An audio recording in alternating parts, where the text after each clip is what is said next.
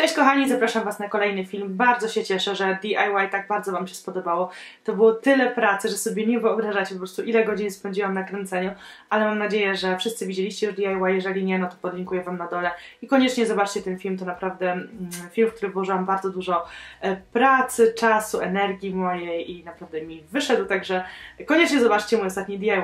Dobra kochani, przejdziemy w takim razie do ulubieńców lipca i będzie też kilka bubli. Mam tutaj głównie kosmetyki do makijażu. Tym miesiącu przetestowałam mnóstwo nowych kosmetyków do makijażu, także to Wam pokażę. Mam też troszkę pielęgnacji, ale bardzo mało, także od tego może zaczniemy, później przejdziemy do makijażu i pokażę Wam też kosmetyki, które mi się w tym miesiącu nie sprawdziły, także będą to i ulubieńcy i buble. Coś takiego nowego na moim kanale. Nie chcę tu kręcić całego odcinka z bublami, bo nie ma ich aż tak dużo, ale stwierdziłam, że przy ulubieńcach po prostu Wam wspomnę o tych kosmetykach, które mi się nie sprawdziły. Najpierw zacznijmy od pielęgnacji w takim razie. Pierwsza rzecz, maseczka do twarzy. Mask of Magna Minty. To jest maska do twarzy i do ciała. Maska z lasza, maska taka miętowa. Ona tak naprawdę dla mnie pachnie tymi czekoladkami After Eight, czyli e, czekoladkami miętowymi. Cudowna, zielona, Pięknie pachnie, mam ochotę po prostu ją zjeść. Cudownie działa, fajnie koi skórę, jeżeli macie wypryski. Ja akurat w tym miesiącu miałam sporo wyprysków tutaj na żuchwie po powrocie z, z, ze Skandynawii oraz po przyjeździe tutaj. No zawsze mnie sypie, kiedy podróżuję, naprawdę. Jak zmieniam tylko środowisko, od razu mnie wysypuje. Także ta maska e, pomogła mi wrócić do normalności, uspokoić moją cerę. Także mogę Wam bardzo polecić tę maskę z Lasza, jest niezastąpiona. Druga rzecz, którą chcę Wam polecić to mm, mgiełka do ciała, bo ja latem używam właśnie głównie mgiełek, a e, perfum.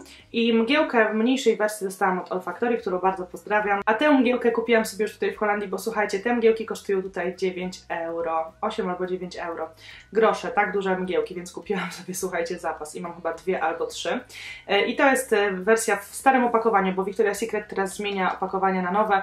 Chyba też zmienili zapachy, więc wolałam sobie kupić w starym opakowaniu. I to jest mgiełka Pure Seduction, czerwona śliwka i frezja.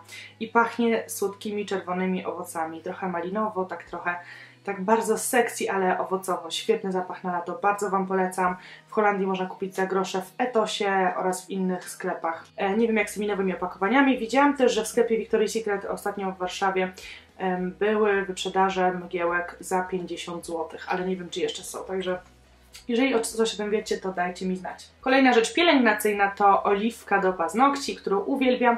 Robiłam Wam taki film e, hybrydy z moją przyjaciółką, który też Wam podlinkuję na dole, gdzie razem z moją Madzią testowałyśmy nowe kolory lakierów Semilak oraz nowe oliwki. Bardzo Wam polecam oliwkę Pineapple, ananasową. Pachnie po prostu jak pinia colada, cudownie, lubię nią, lubię nią smarować skórki w ciągu dnia. I przez ten właśnie zapach często to powtarzam i dzięki temu moje skórki wyglądają już trochę lepiej. Mają kilka nowych zapachów, to też Wam pokazywałyśmy w filmie. Wszystkie są fajne, ale to jest mój, mój ulubieniec, ananas. No to co, to do makijażu. Przechodzimy najpierw do paletki. Moja ulubiona paleta tego miesiąca, absolutny ulubieniec Beauty Killer od Jeffree Star. Niestety musiałam zapłacić cło, słuchajcie, za przesyłkę e, tu w Holandii około chyba 20 euro z tego co pamiętam, więc bardzo duże cło. Zamówiłam sobie trzy rzeczy, to jest jedna z nich. E, zrobię oczywiście osobny też film z tą paletą, ale już widzieliście w moim tutorialu Galaxy. E, w każdym razie paleta jest świetna, w ogóle zamówiłam sobie też nowe kosmetyki i wiemy już, że dotarły do Polski i znowu są oclone, więc masakra. Jeffree Star po prostu zawsze, zawsze mam cło przy tych kosmetykach. Jakoś... Um, Kurczę, jak zamawiam z innych firm, to nie zawsze mi się trafia, tutaj zawsze, za każdym razem jest cło. Ale postaram się wyszukać na przykład, na przykład na Amazonie Wam znajdę i podlinkuję Wam z Amazonu mi nigdy nie, z Amazonu nie ma cła, ponieważ Amazon brytyjski idzie z Anglii, czyli nie ma cła. Boże. Już Paletka, słuchajcie, Beauty Killer. Jeszcze jeden disclaimer, bo wiem, że będą pytania co do kłótni między Jeffree Star a e, Kat Von D. Mam to zupełnie gdzieś, mam to naprawdę zupełnie gdzieś. Oboje mają świetne kosmetyki, mogą się kłócić, mm, mogą nagrywać na siebie filmy. Zresztą na pewno wszyscy widzieliście tą ich wojenkę w internecie. Ja się tym naprawdę nie przejmuję, będę kupować obydwu firm, bo obie firmy mają świetne kosmetyki i Kat Von D i Jeffree Star. Mogą się tam kłócić, ale oglądam filmy i, filmy i Jeffree Star i, i Kat Von D. Paleta, słuchajcie, ma takie piękne, duże cienie. Jak widzicie, 10 kolorów, y, dużo żywych kolorów, na przykład ten turkus, róż, no to są takie blaskowe kolory, złoto. Jest bardzo mocno napigmentowana, naprawdę niesamowicie napigmentowana paleta. Jeżeli chcecie zobaczyć um, słocze tych kolorów, to możecie zobaczyć na kanale Jeffreya. Um, on zrobił właśnie tutorial z tą paletą i pokazywał wszystkie te kolory. Ja paletę bardzo polecam, zarówno właśnie Kat Von D, której niestety nie mam tu ze sobą, ale zarówno paletę Kat Von D, jak i tą Jeffree Star. Minus tej palety jest taki, że tu nie ma zbyt dużo takich kolorów przejściowych. Mamy tutaj tylko ten jasny, który nazywa się China White i mamy Courtney, który jest y, kolorem właśnie przejściowym, takim bardziej ciepłym, natomiast nie ma tutaj żadnego takiego koloru taupe, czyli takiego brązowo-szarego, który by nam się przydał na powieki, albo po prostu koloru powiek. No nie ma takiego koloru. Za to mamy duże lustro, bardzo duże cienie, więc myślę, że mimo wysokiej ceny opłaca się kupić tę paletę. Jeżeli oczywiście lubicie takie barwy, no paleta jest po prostu świetna. Bardzo chciałabym spróbować rozświetlaczy Jeffreya. E, pomadki też mam, przekonuję się do jego pomadek. Kolejna paleta, którą chciałabym Wam polecić jest z kosmetyków z Ameryki, Moi Lux Paradise Plush Plum and Copper 10 też odcieni, którą pokazywałam Wam w teście Moi. Wypadła naprawdę fajnie. Minusem tej palety jest to, że jest bardzo, bardzo sucha. Um, ale fajnie wygląda na lato, ma bardzo dużo drobinek, tu, no widzieliście już na pewno ten filmik z Moi, jak nie to Wam też podlinkuję na dole. E, fajna paleta, ale taka bardzo letnia. Też ma fajne lusterko. No na pewno nie jest tak cudownie napigmentowana jak paleta Jeffree Star, ale nie jest też, e, nie jest najgorsza. Kosmetyki Mua naprawdę dają radę, także bardzo Wam polecam tę paletę. E, to były palety, które polecam. Teraz produkt, którego nie polecam, tak sobie to wymieszamy, bo jestem przy paletach. Dziś mam na powiekach tę właśnie paletę. Słuchajcie, testuję ją od tygodnia na wszelkie sposoby. Nazywa się Metallic Eye Palette Alchemy. E, paleta posiada bazę, która niestety nie sprawia, że cienie się trzymają dłużej. Palecie nie ma lustra, więc tu jest, jest pierwszy minus. Kolory są piękne i są fajnie napigmentowane. I tak jak mówiłam, mam na powiekach, są takie bardzo kremowe. No ale jak to jest z kremowymi kosmetykami, niestety się w załamaniach zbierają i na tej bazie się niestety nie trzyma. Będę musiała spróbować na innej bazie, ale, ale póki co no nie jest to mój ulubieniec, bardzo, bardzo się zbiera w załamaniach powieki i no jakoś na razie nie polecam, jednak uważam, że ta paleta jest lepsza niż ta kremowa. Co do baz, to niestety też nie polecam tej bazy Pro Base e, Makeup Academy. Nie sprawdza mi się, nie trzyma dobrze cieni, czy to były palety, czy to były cienie Jeffreya, czy były cienie jakieś inne. Próbowałam różnych cieni i wszystkie niestety mi się zbierają w załamaniach, także nie trzyma tych cieni. Nie wiem, może trochę przedłuża e, ich um, utrzymywanie się na powiekach, ale niestety nie zapobiega zbieraniu się w załamaniach, więc ta baza jest dosyć słaba. E, kolejna rzecz z kremowych kosmetyków w takim razie, mój ulubieniec, absolutny ulubieniec, highlighter z Moi. Tutaj będzie dużo mła, bo jak wiecie robiłam test i mam dużo kosmetyków. Highlight Shimmer. E, jest też bronzer i jest też róż. Też fajny róż. Bronzera nie używałam, bo nie lubię błyszczących bronzerów, ale Highlight Shimmer to jest świetny kosmetyk. Takie wykończenie bardzo mokre. Naprawdę cudowny kosmetyk, bardzo tani, polecam. Też Wam podlinkuję na dole. Jak jesteśmy przy rozświetlaczu, to znowu będzie mała. Wiem, że jestem nudna, ale rozświetlacz, który mam dziś na policzkach. Undress Your Skin w odcieniu Pink Shimmer. Uwielbiam ten rozświetlacz. Mógłby być troszeczkę bardziej kremowy, bo jest taki bardzo suchy, ale kolor ma ładny i cenę też ma niewysoką, więc naprawdę fajny kosmetyk. To jest ten Pink Shimmer, tu macie ten właśnie mokry. Oba rozświetlacze świetne, może nakładać na siebie, w sensie suchy na mokry. E, piękne wykończenie na buzi. Wiecie co Wam pokażę? Wonderbrow, Wonderbrow, robiłam test na żywo, też podlinkuję na dole, jeżeli jeszcze nie widzieliście.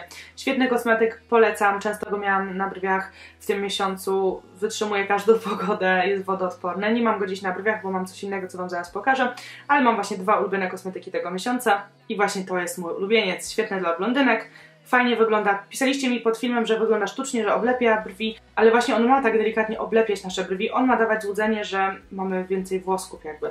Czyli w tych miejscach, gdzie nie mamy faktycznie włosków, ma je wypełniać, ma, nawet jeżeli nie macie brwi, czy ma, macie bardzo cienkie, wyskubane, możecie namalować sobie zupełnie nowe brwi. Nie jest to łatwe, przyspieszyłam tam sporo to, to na, całe nakładanie tego, ponieważ trwało to bardzo długo, nie, nie jest to proste. Raz mi wychodzi od razu, a nieraz muszę więcej popracować, ale produkt jest świetny, polecam, linkuję Wam na dole, też daję Wam link do Amazona, bo z Amazona nie ma cła, także możecie go sobie zamówić z brytyjskiej strony. Produkt, który mam dziś właśnie na brwiach, uwielbiam go z Too Faced Bulletproof, Bulletproof Brows w odcieniu Universal Taupe. Otwiera się tak i jest to coś takiego, taka pomada do brwi, tak jak Anastazja ma te pomady. Ten ma świetny kolor, mam go dziś na brwiach. Najbardziej się chyba lubię w tym kolorze, bo to jest właśnie taki ciemny blond i myślę, że mi fajnie pasuje. Ma małe lusterko, jest bardzo długotrwały, dobrze się trzyma, zrobiony we Włoszech. Genialny produkt, mam już kolejne opakowanie, zapas w domu, bo kocham po prostu produkty z Too Faced, a ten jest świetny. Dla wszystkich brwiomaniaczek, jeżeli lubicie pomady do brwi, to to się świetnie sprawdza. Teraz dwa bubelki do brwi, możecie się spodziewać, co teraz pokażę. Niestety, Tint My Brows z firmy Etude House. Dostałam od Kreci, oczywiście to nie jest wina Kreci, Krecie bardzo pozdrawiam. Widzieliście też na żywo, jak nie to znowu linkuję Wam. Niestety ten produkt barwi brwi na jeden dzień. Mm, zbyt dużo zachodu, zbyt słaby efekt. Jakby efekt był fajny, ale szybko się zmył. Nie wiem, dla kogoś może kto nie myje buzi. To się trzyma długo, ale u mnie się nie trzymało długo, to barwi naprawdę na chwilę.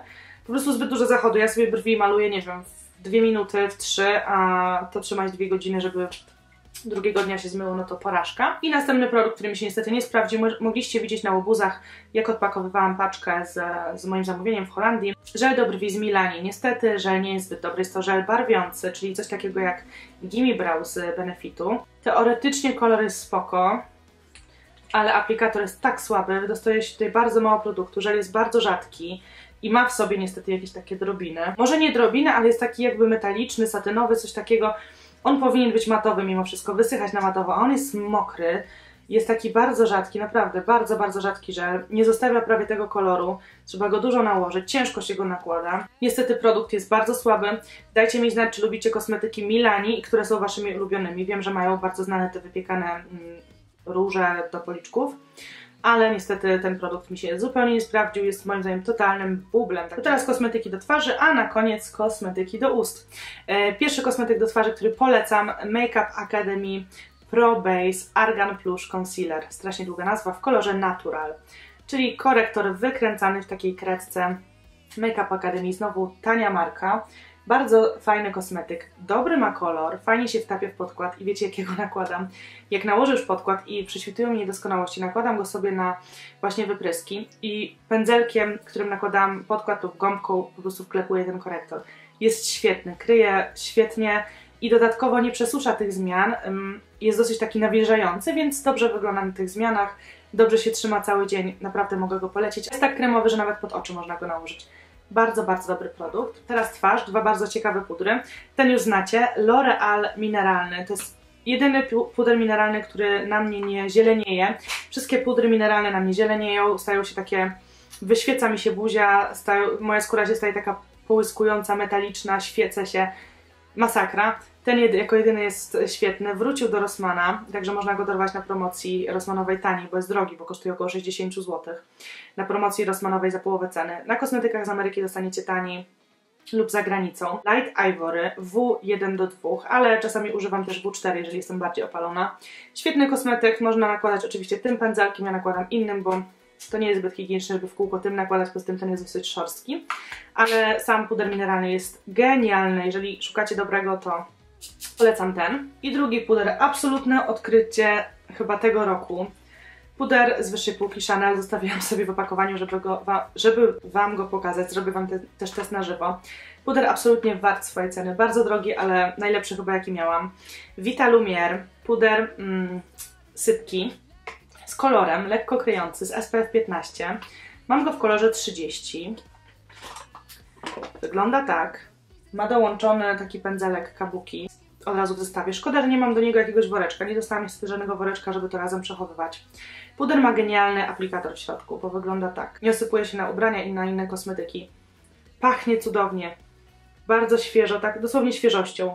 Świeżością, kwiatami, przepięknie pachnie. Świetnie matuje, cudownie wygląda na skórze, na same plusy. Nakładamy sobie tym oto pędzelkiem, zbieramy go tutaj. I kiedy nam się kończy, to po prostu maczamy tak. Ten puder to jest po prostu tak cudowny kosmetyk, można go nakładać bez, um, bez podkładu, ale on sam sobie całkiem nieźle kryje. No polecam Wam, jeżeli macie trochę więcej kasy i chcecie zainwestować w dobrej jakości y, puder do twarzy, to polecam Wam Vita Lumiere z Chanel. Mm, po prostu kocham ten produkt. Cieszę się, że go kupiłam. Mam też podkład Chanel i będę Wam robić test na żywo, jeżeli macie ochotę zobaczyć, jak działają troszeczkę droższe kosmetyki. Po prostu kocham ten puder. Bronzer z niższej półki. Też możecie się spodziewać, co to będzie. Mła. E, Bronze Perfection. Bronzer bardzo fajny, duży, też tani. Nie ma drobinek. Robiłam Wam w teście i widzieliście, że ma bardzo delikatne wykończenie. Wygląda tak, taki jest naprawdę kolor, także sprawdzi się nawet osobom, które są bardzo blade. No kolor jest po prostu świetny, bo kolor jest właśnie taki bardzo delikatny, nawet go tu bardzo nie, nie będzie widać w kamerze.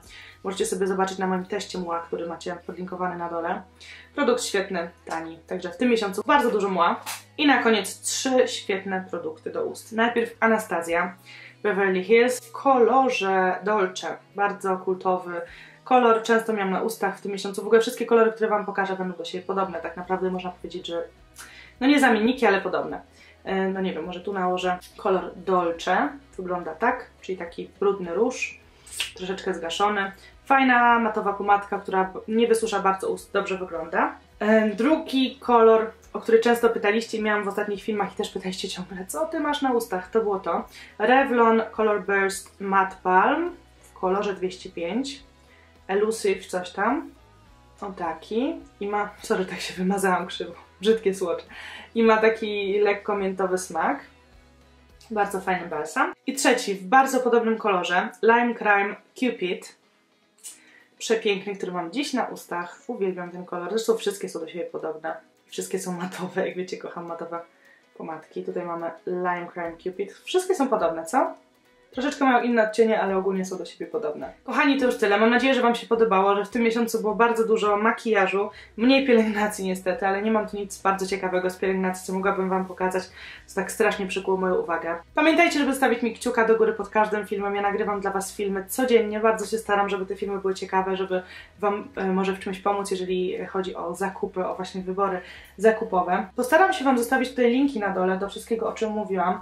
Poszukam na Amazonie tych rzeczy, które można dostać e, właśnie bez cła. Jeżeli coś możecie zamówić tutaj w Europie, zamawiajcie jednak w Europie, bo niestety, ale często to cło dorzucają tak duże, że mnie to wkurza. Tak jak w przypadku właśnie tej palety Jeffree Star, no niestety tak duże cło, że paleta wyszła mi naprawdę bardzo drogo razem z przesyłką. Mm, także linki postaram się wrzucić na dole. Zobaczcie tutaj w opisie. No i widzimy się już w kolejnym filmie. Pa, pa!